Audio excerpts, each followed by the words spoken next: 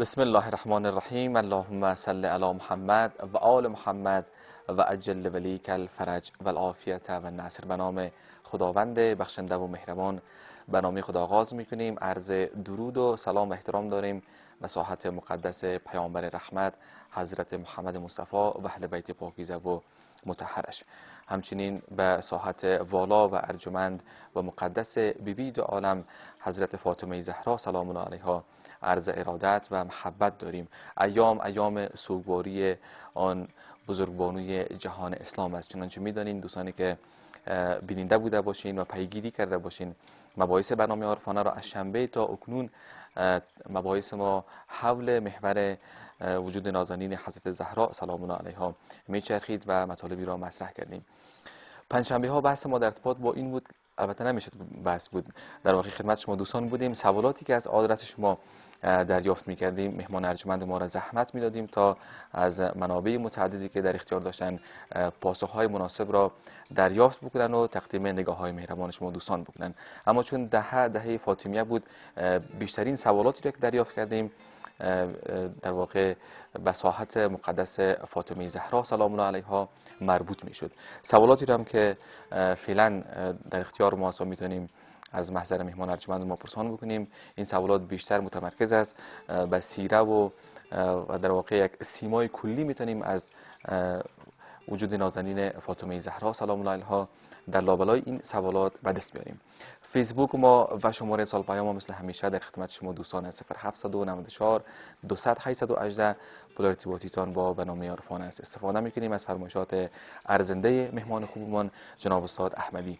آج آقا سلام علیکم. خوش آمدید علیکم السلام و رحمت الله و برکاته. بسم الله الرحمن الرحیم اللهم صل على فاطمه و ابیها و بعلها و بنیها و سر المستودع فیها بعدد ما به علمک عرض سلام و خسته نباشد خدمت شما و همچنین خدمت بینندگان نهایت عزیز تلویزیون تمدن و برنامه عارفانه و شنوندگان رادیو فرهنگ.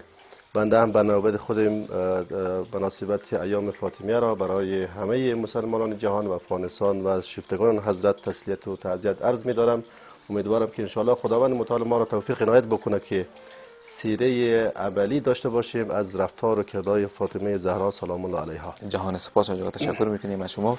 اولین سوال را که مطرح می‌کنیم این گونه آمده است که حضرت فاطمه زهرا سلام الله علیها چند سال پس از مبعث حضرت پیامبر صلی الله علیه و آله و سلم متولد شدند و در چه تاریخی؟ خب تاریخ گرچند متفاوت است. بعضی تاریخ میگه که در سال سوم دوم بعثت بوده و بعضی هم چهارم میگه و بعضی هم پنجم و بعضی هم ششم.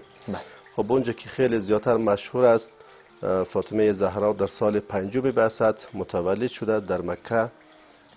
حدودا در اگر ما به حساب بیاریم که پیغمبر اسلام در سال عام الفیل متولد شده و سال پنجم بعثت هم که بگیریم حدودا پیغمبر میشه 45 ساله. خب 45 ساله در از نظر تاریخ میلادی که بسنجیم خب میلاد پیغمبر بوده در 571 خب 45 اضافه بکنیم میشه 616 در سال 616 فاطمه زهرا سلام الله علیها در مکه متولد شد. و در سال در سوم جماعت ثانی و در سال 11 هجرت هم که وفات کرد. بسیار خوب. سوال بعدی است که طبق روایتی از امام صادق علیه الصلاه و سلام اسامی نهگانه حضرت فاطمه نزد خداوند متعال کدامند؟ خب روایتی است از امام صادق علیه السلام روایت ظاهرا روایت شده است اما سندش معلوم نیست. بررسی نکردیم که معتبر است یا نیست. روایت شده است که عبارت اول نامش فاطمه فاطمه هست بعد صدیقه هست. مبارکه طاهره زکیه رازیه مرزیه محدثه یا محدثه. و آخرش هم زهرا. اینا نامای فاطمه زهرا هست که واقعا حالا وقتش نیست که اینجا بحث بکنیم که در واقع نامه های حضرت زهرا برای ما الگو است. برای فرزندان ما برای اولاد ما که باید از زهرا به خاطر که نامش زنده بماند باید فرزندان خود را از نام زهرا بگذاریم. تشکر می‌کنیم سوال بعدی است که معنای لغوی فاطمه چیست؟ خب یک از نامه هایی که در روایت امام صادق آمده فاطمه هست.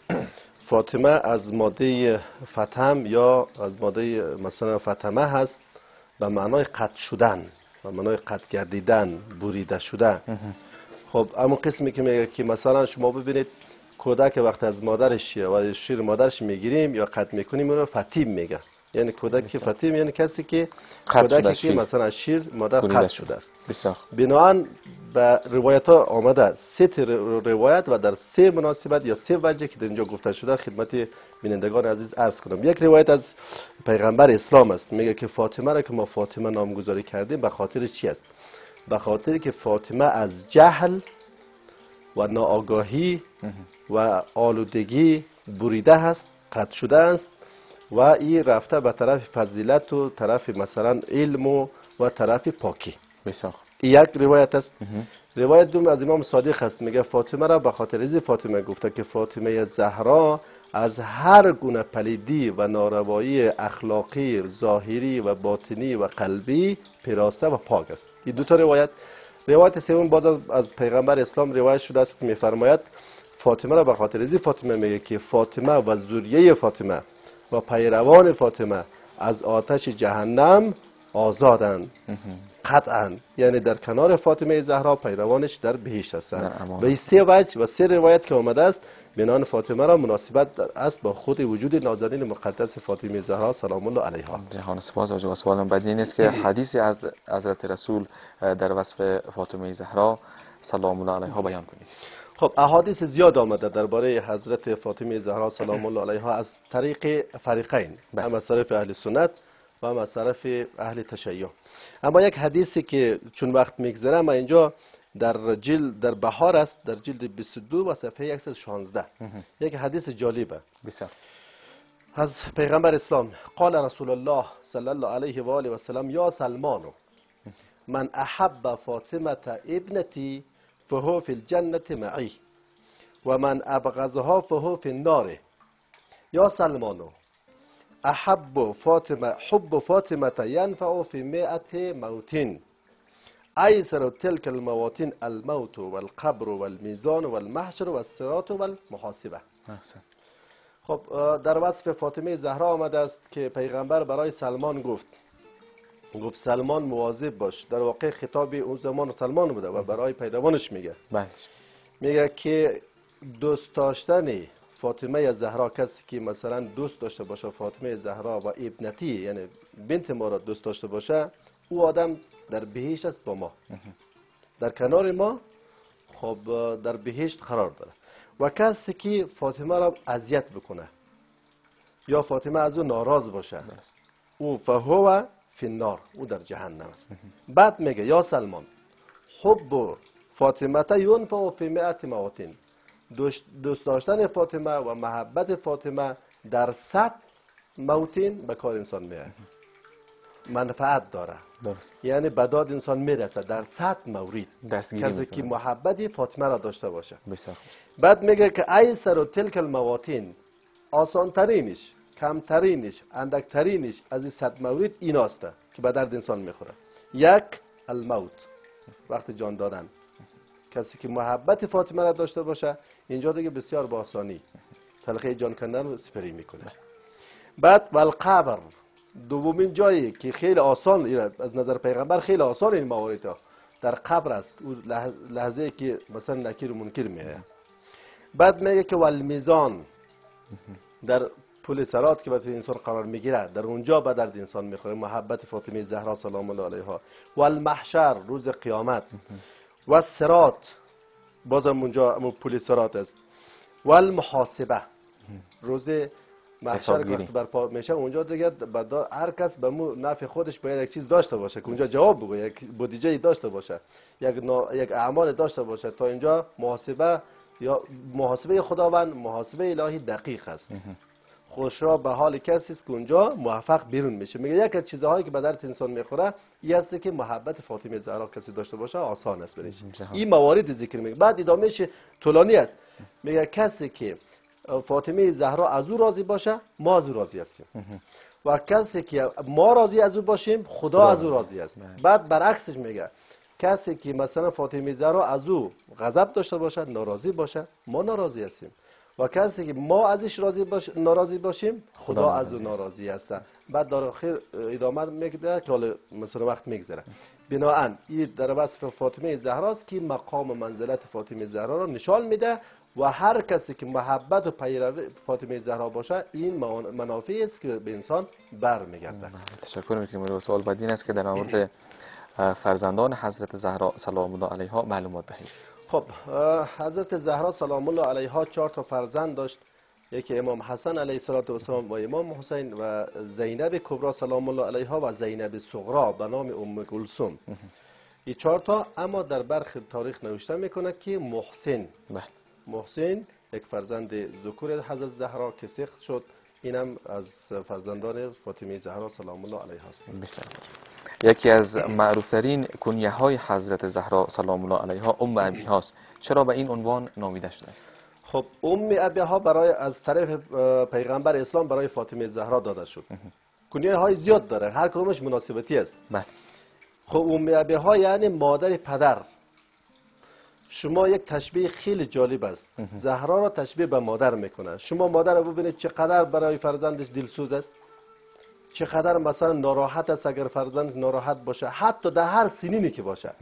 در هر سنینی باشه. انسان از نظر روانشناسی 40 ساله باشه 60 ساله باشه اگر مادرش زنده باشه علاقه بیشتر به مادر داره. چون او در پرورده مادر است. از زمان طفولیت تا آخره در اونجا در آغوش مادر راحته. خب میگه که پیغمبر اسلام چرا فاطمه زهرا ام ابی ها گفت؟ چرا مادر پدر گفت؟ به خاطر از که پیغمبر در سن 6 سالگی مادر از داد. بعدش تا زمانی که فاطمه زهرا سلام الله علیها متولد نشده بود در کنارش حضرت خدیجه بود. بله.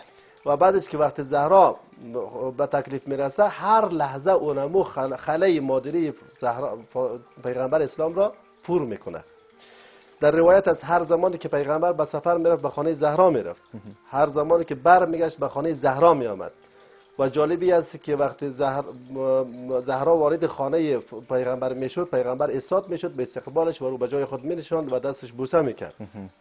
و همیشه گرد و غبار رخسار پیغمبر را فاطمه زهرا پاک می‌کرد و به غمهای پیغمبر رسیدگی می‌کرد و لباس پیغمبر آماده می‌کرد و ضرورت پیغمبر آماده می‌کرد. و از اهداف پیغمبر دفاع می‌کرد. درست اما دقیقا تمام اعمال و رفتار و کردار و اخلاق یک مادر را یه و تمثیل می‌کرد و یه را برای پیغمبر نشان می‌داد. بنابراین پیغمبر همیشه می‌گفت خب همین لقب برش داد که تو به عنوان مادر ما هستی. از این بس. روح حضرت بزرگ بود. حضرت پیامبر آرامش می‌گرفت آرامش می‌گیره بله. خب گفتیم در از جنگا که میآمد در خانه فاطمه میآمد. به مو تمام مشکلات جنگا رو که می‌دید میآمد به خانه فاطمه زهرا آرامش پیدا می‌کرد. خیلی ام ابی ها گفتن. جهان سپاس آقا برمیگردیم وقفه داریم که انشالله بازم خدمت شما خواهیم بود. از امراهی تک تک شما دوستانی که بیننده و شنونده هستین تشکر می‌کنیم.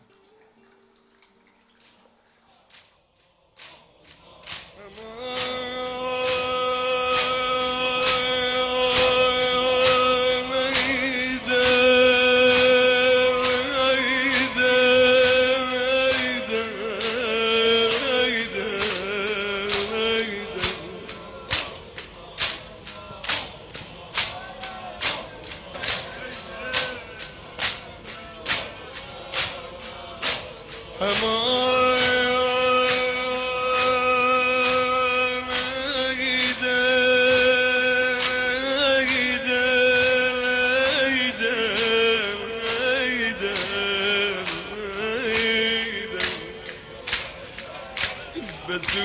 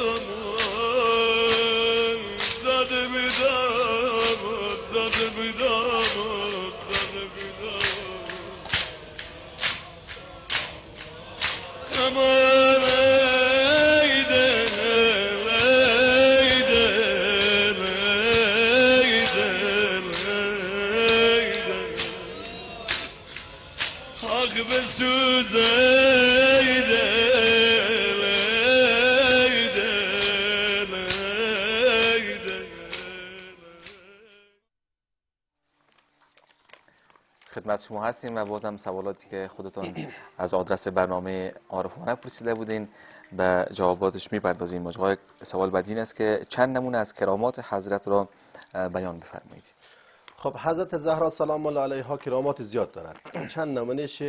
خب با می تناسب وقت که هست ذکر بکنم. یک نمونهشی است که وقتی حضرت امام علی علیه السلام نیازی به غذا پیدا کرد. مثلا می‌خواست جوی گندمی پیدا بکنه به خاطر نفقه ایال خب او زمان می رسم بوده که از یک کسی اگر مثلا شما می‌رفتین جو یا گندم می آوردین باید لباسی چادری به گیرو بگذاره حضرت علی علیه السلام آمد چادر فاطمه زهرا را برای زید یهودی.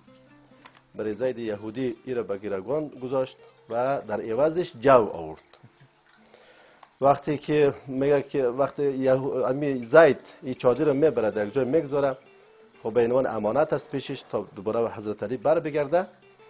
میگه که شب شده وقتی شب شد در نصف شب است که زن ای زید بیدار میشه می‌بینه که خانه تلالو داره نور است روشن است این تعجب می‌کنه. وقتی میآید پشت پرده می‌بینه که چادر است.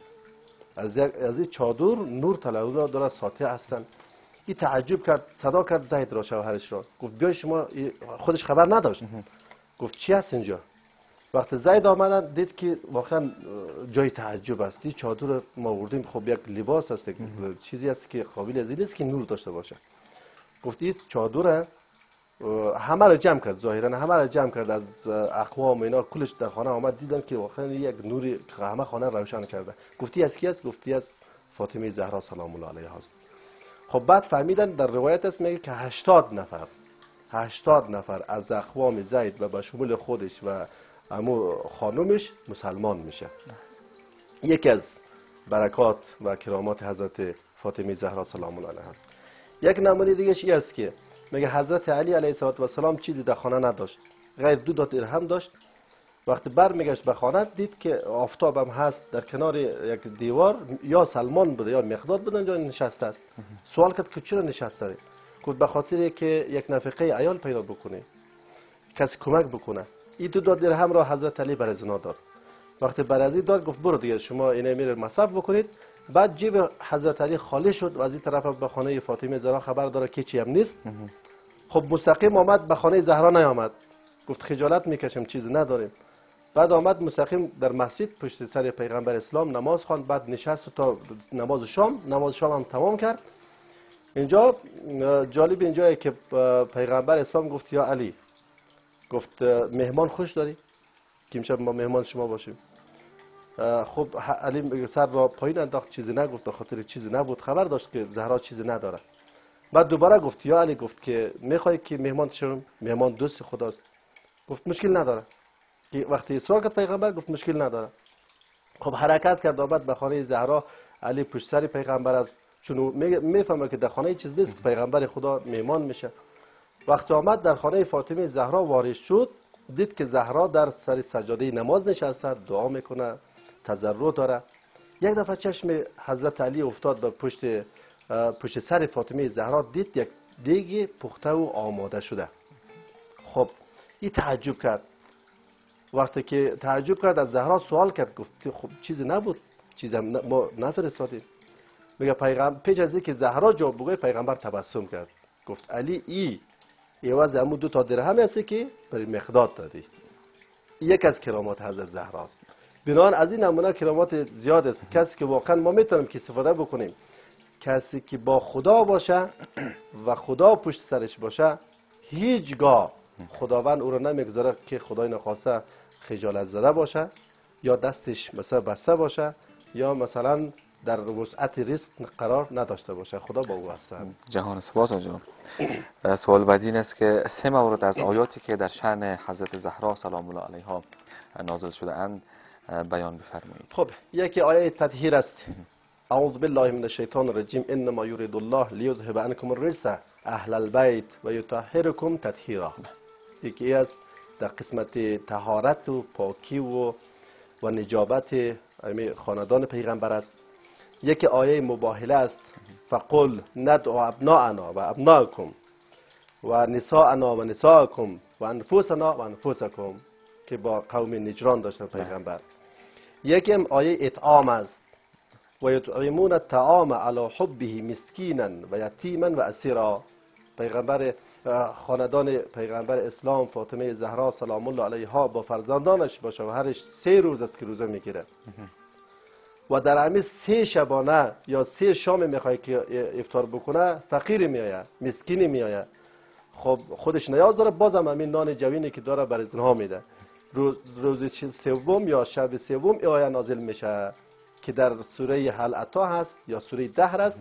و یطعمون الطعام علی حبه. زهرایی که اینقدر مثلا خودش نیاز شدید داره بازم با این دوستی که به طعام داره در راه خدا انفاق می‌کنه. برای یتیم و اسیر و فقرا انفاق می‌کنه. جهان سپاس. سوال بعدی است که یکی از نامهای نهگانه حضرت محدثه می باشد علت نامگذاری حضرت و این نام چی می باشد خب این در روایت محدث آمده. در روایت هم محدث آمده هم محدث آمده. اگر محدثه باشد معنایش این است که بعد از رحلت پیغمبر اسلام صلی الله علیه و آله و سلم میگه جبرائیل یا ملائکه ها برای حضرت فاطمه زهرا می آمد با این صحبت می‌کرد. یعنی هم حدیث می‌شد هم گفتار می‌شد. میگه تمام قضایای آینده رو برای زهرا می‌گفت. خب این گونه اگر باشه شاید اشکال شود که بعد از پیغمبر وقتی ما می آمد وحی قطع شد این به عنوان وحی نمی آمد که خود نعوذ بالله نشد که مثلا اینجا سوی تفاهم شود. به عنوان از اینکه الهام میگه برای, برای فاطمه زهرا هم قسم هم یک حدیث هم داریم که تنزیل می‌کنه وجود نازنین مقدس فاطمه زهرا را با وجود حضرت مر- مریم سلام الله علیها که اونجا آمد دیگه با ملائکه ها آمد از جمله جبرئیل آمد با حضرت مریم صحبت کردن بله. بیرون اونمو قسم برای فاطمه زهرا هم صحبت می شدن یه محدثه اگر بگوییم الهام می درش. اگر محدثه بگوییم زهرا به عنوان یک حدیثگر یک روایتگر تقریبا در روایت ها هست میگه 80 روایت از پیغمبر اسلام حدیث کرده و نقل کرده و روایت کرده. بیرون از این نگاه میشه که محدثه بگوییم از اون نگاهی که الهام میشته میشه محدثه بگوییم. بله و هر هم قابل جمع است. بله. سوال بعدی است که رسول خدا در مورد عبادت حضرت زهرا چه تعبیری دارند؟ خب این خطاب یک حدیث معتبر است. خطاب به حضرت سلمان کرد. بعد گفت یا سلمان بدان که فاطمه زهرا سلام الله علیها گوشت و پوست و استخوانش عجین شده با تقوا و با ایمان. به همین خاطر است که زهرا اشتیاق به عبادت داره. جدیت به عبادت داره. شما ببینید در تاریخ نوشته می‌کنه که هر, هر زمانی که از مثلا مشکلات خانوادگی یا خانه یا از بیرون خلاص می‌شد می‌رفت به طرف سجاده نماز فاطمه زهرا. بنان این حدیث است که برای ما هم به عنوان الگو است که به عبادت اهمیت بدهیم. همون قسمی که زهرا و پیشوای ما و نمونه ما اهمیت می‌دادند. خیلی تشکر سوال بعدی این است که فاطمه سیدت نسای العالمین یعنی چه؟ توضیح بدید. خب سیده نسای عالمین از طرف پیغمبر است. وقتی که پیغمبر معرفی می‌کنه چهار تا زن را یکی خدیجه دختر یا بنت خویلید است یکی هم مریم است بنت امران است و یکی هم مثلا آسیه است که زن فرعون است و بن بنت مزاحمه وقتی معرفی می‌کنه اینها را بعد میگه فاطمه زهرا هم یک از اونها هستند. بهترین زنان است. بعد میگه که نه سیده نسای عالمین است. حتی این فاطمه زهرا نسبت به این سه تا هم بالا برتری و. بالاتری داره. درسته. سیده نسای عالمین یعنی چی؟ یعنی رهبر و آقای زنان عالم از اول دنیا تا آخر دنیا. خب یک مقام است که پیغمبر برای حضرت فاطمه زهرا میده اما به چی مناسبت؟ واضحه از روایت آیات فهمیده میشه که زهرا نمونه یا. نمونه کامل است اسوه کامل است الگوی کامل است. در هر بخش بنابراین اینا این مقامی که خدا برش داده و پیغمبر داده نسای عالمین شده سیده نسای عالمین عالم شده. تشکر از یکی از اسامی نگانه حضرت زهرا می باشد. علت نامگذاری این اسم به چه دلیل است؟ خب یک از مورد روایت امام صادق علیه السلام آمده بود که زهرا زهرا یا زهره به معنای روشن دهنده یا روشنی یا درخشندگی. بله. خب زهرا را چرا زهرا میگه؟ روایت از امام باخر علیه السلام است. میگه که وقتی زهرا متولد شد خداوند چنان نورانیت برش داد که اهل زمین آسمان روشن شد. درست شد. درخششش مثلا فراگیر بود. حتی میگه به او اندازه بود روایت شده است. حتی به او اندازه بود که چشمان فرشتگان خیره شد و به خاطر امی عظمت که خداوند این نور را برای فاطمه داده است همه به سجده افتادند. یک روایت. روایت دیگر از امام صادق علیه و سلام است. میگه وقتی فاطمه زهرا در محراب عبادت قرار می‌گرفت چنان نورانیت پیدا می‌کرد و چنان درخشندگی پیدا می‌کرد که گویا شما محاسبه بکنید یا تشبیه بکنید که وقتی ما در شب می‌بینیم ستارگان آسمان نسبت به اهل زمین درخشندگی خاص دارند بله و نور فاطمه نسبت به اهل آسمان درخشندگی خاص داره. درست. بنابراین ما می‌تونیم بگوییم که زهرا یعنی درخشندگی زهرا و وجود زهرا نسبت به اهل زمین و آسمان. تشکر می‌کنیم از باز مگه وقفه داریم که بر از وقت در خدمت شما هستیم. از روحی همه شما دوستانی که تا این بودین تشکر می‌کنیم. تا پایان نیز باشین و به ویژه دوستانی که سوالات خیلی خوبی مطرح کردین زوایا و گوشه های تازه ای را برای ما برملا ساختین. از شما جهان سپاس. انشاءالله که برمیگردیم.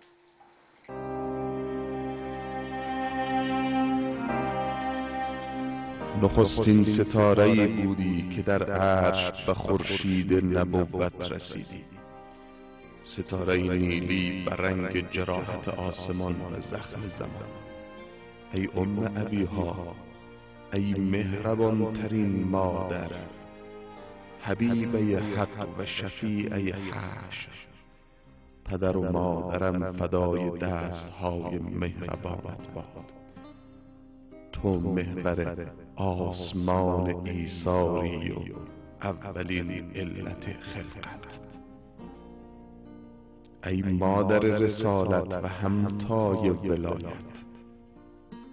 غبار غم از سیمای زیبای علی میزدودی و بر زخمهای فزون از ستاره پیکرش که نشان از رزم با باطل داشت. مرهم می نهادی فتوحات مولا رهین مهربانی توست. هنوز خطابه های رسایت سراج راه مجاهدان است و بر آفاق تاریخ میتابد. پاره تن رسول بودی و یگانه یاور یکتا امیر عاشقان. تلالو زلفقار علی وام دار عزم و عزت تو بود. آنگاه که بر بی بصیرتان و دنیا پرستان غضب می کردی غضب ناکی آفریدگار قادر. آشکار می شد رضای تو رضای حق بود و با خرسندیت. تمام اهل عرش و ساکنان قدس قرین شعف می شدند ای مهربان ترین مادر عالم صبر لایزال نبوی بودی که در هیئت افتی سر به فلک کشیده. چادر به سر می کشید و در کوچه های مدینه در تمام رهگذرهای هستی حضور خدا را به کائنات یادآور می شدی افسوس از سوره کوسر که در آن خانه گلین همسایه اهالی غفلت و سنگ دلی شد. آه از زمزمه های شرح شرحه بتول که در نیمه شب سجاده و تسبیح ارکان عرش را بلرزه می افکند. آه از ریحانه رسول خدا که در مشام حسادت زمین به هدر می رفت و چشمان حقیقت ستیز زمانه رخساره تهارتش را طاقت نداشت.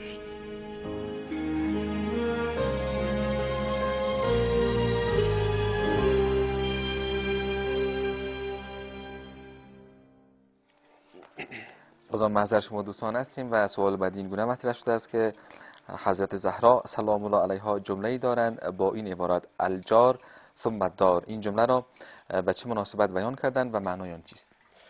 خب یه حدیث که از فاطمه زهرا نقل شده است. به مناسبت این بوده که یک شب حضرت زهرا از اول شب تا به صبح خب دعا خواندن و امام حسن میشنیدن. خب دیدن که حضرت زهرا همیشه مادرش برای امسایه ها دعا می‌کنن بله. از اول شب تا به صبح بعد از اینکه نماز می‌خونه دعایش امی است. به خدای مثلا همسایگان را هر چی عاقبت بخیر بکنه خود برای زن دعا می‌کردن. وقتی صبح شد امام حسن سوال کرد گفت مادر جان چرا برای خود دعا نکردی؟ ما هر لحظه که بیدار می‌شدیم یا بیدار بودیم و خبر می‌شدیم می‌دیدیم که شما برای همسایه دعا می‌کنیم. بعد فاطمه زهرا گفت که اینجا امیر روایت اومده الجار ثم دار اول حق همسایه داشته و بعد بعد حق اهل خانواده داشته و یه خودش برای ما یک الگو است. متاسفانه وقت نیست که اینجا کم به توضیح می‌دادیم. جهان سپاس از جریان. تسبیح حضرت زهرا چیست؟ حدیثی در مورد فضیلت تسبیح حضرت زهرا ذکر خب جریانش شما می‌بینید فاطمه زهرا دستاش آبیله است.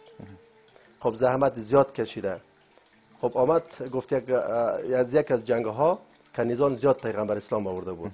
گفت بیرن در مسجد از پیغمبر مثلا یک کنیزی همکاری با ما بیده. وقتی زهرا آمد به مسجد از پیغمبر درخواست کرد گفت کنیز برای ما بیتی خالص زیاد آوردین شما ما دست خودشون نشان داد. وقتی دست آبله را بر پیغمبر نشان داد پیغمبر یک لحظه سکوت کرد. بعد گفت که نه شما کنیز نمیدیم. گفت چیزی برای شما میدیم که بالاتر از کنیز باشه. گفت چیه؟ گفت تسبیح امی تسبیح که 34 مرتبه الله اکبر 33 مرتبه الحمدلله و 33 مرتبه سبحان الله گفت هر زمانی که دیدی که مثلا مشکلات غلبه کرد ناراحتی غلبه کرد گفت اینه میره شما بخونید یک و بعد یک حدیث داریم از امام صادق علیه السلام که بینندگان عزیز کوشش بکنید که بعد از تعقیبات نماز حتما تسبیح حضرت زهرا رو بخوانند. امام صادق میگه تسبیح الزهرا فاطمه سلام الله علیها فی دبور کل صلات احب الی من صلات الف رکعت فی کل یومین. در کافی از جلد 3 صفحه 343 میگه در عقیب هر نمازی که کسی بیاید فاطمه تسبیح فاطمه زهرا را بخواند این بهتر است از هزار رکعت در هر روز. بهتر است از هزار رکعت نماز در هر روز. در روایت دیگر بازم داره. میگه کسی که تسبیح حضرت زهرا رو بکنه گویا در روز قیامت سبب اینمی تسبیح سبب دخول در بهشت میشه. این است از فضیلت های تسبیح حضرت زهرا. تشکر می‌کنیم آقا دعایی از حضرت فاطمه زهرا سلام الله علیها نقل شده جهت مداوا نمودن نمودن هنگام آره شدن تب. چه دعایی می باشد خب ظاهرا به سلمان. بله این دعایی است که برای حضرت سلمان میگه. و این نه تنها برای رفع تبه بلکه برای رهایی از غضب الهی هم وارد شده کسی که بخونه. او امو دعای نور است که در مفاتیح آمده درست. که اکثر موارد مثلا در شبای قرق خوانده میشه. تشکر می‌کنیم. از آقا. نماز استغاثه حضرت زهرا چگونه است؟ به صورت واضح بیان کنید. خب دو رکعت نماز است مثل دو رکعت نماز صبح هست. می‌خوانی بعد از اینکه نماز سلام دادی سه مرتبه تکبیر میگی الله اکبر میگی بعد تسبیح حضرت زهرا رو میگی و بعدش بعد از این به سجده میری صد مرتبه میگی. یا مولات فاطمه تو اغسنی یا مولات فاطمه تو اغسنی. بعد در پهلوی چپ بعد پهلوی راست امی صد مرتبه تکرار می‌کنی این نماز استغاثه با فاطمه زهرا است چه دستور عملی را حضرت رسول به حضرت زهرا قبل از خواب تعلیم فرمودند که ثواب زیاد خب؟ این خیلی خوب است. اینمی خیلی خوب است. کسایی که خواب می‌کنن انشالله قبل از خواب امو دستور عملی که پیغمبر برای فاطمه زهرا گفته بود اولی است که سوره حمد می‌خوانی بعد سوره اخلاص می‌خوانی بعد معوذتین را بعد آیت الکرسی و بعد صلوات بر پیغمبران میفرستی. و صلی علی جمیع الانبیاء و المرسلین. و بهتر است ادامه و شهدای و صدیقین و جمع عباد صالحین و چند تا صلوات انشالله خواب می‌کنی بسیار خوب یکی از کنیزان حضرت زهرا که در اثر تربیت و همنشینی با آن بزرگوار به مقام بالایی رسید چه کسی بود و حضرت علی در مورد او چه سخنی دارد؟ خب او فیزه خادم است. گرچه زیاد است اسما ام ایمن است اسما بنت امیس است اما فیزه خادم است که حضرت علی در شانش میگه اللهم بارک لنا فی فیزتنا خدایا مبارک گردان. و برکت بده برای فیزه ما. یعنی فیزه را از اهل بیت حساب کرده. بعد در تاریخ نوشته می‌کنه که فیزه هم از نظر علم هم از نظر اولاد و هم از نظر مال. خیلی زیاد خدا برش داد و برکت عنایت کرد. تشکر می‌کنیم از همکاران اشاره می‌کنن که وقت ما پایان رسید. سوالات زیادی هم اتفاقا باقی ماند اما در این فرصت خیلی هم مناسب بود و پاسخهای خیلی زیبایی هم ارائه کردین. از مزدش مرخص میشیم. و حجتون به خدای مهربان باشد. و از همه شما خوبانی که بیننده و شنونده بودین تشکر خاص و ویژه داریم. خداوند یار و نگهدارتان باد. اللهم عجل ولیک الفرج.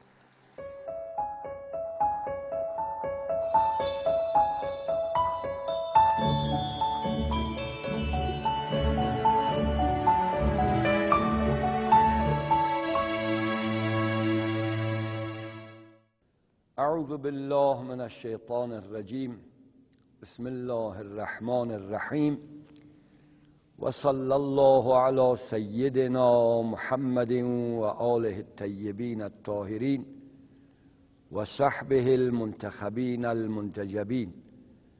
در جلسه قبل عرض شد که بر علاوه حدیث شریف ثقلین احادیث دیگری هم وجود دارد که دلالت می کند بر وجود